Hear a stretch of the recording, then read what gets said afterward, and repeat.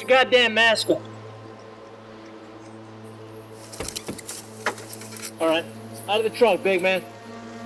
Move! Slowly. That's it. All right, turn around. Turn the fuck around! Start walking. Move!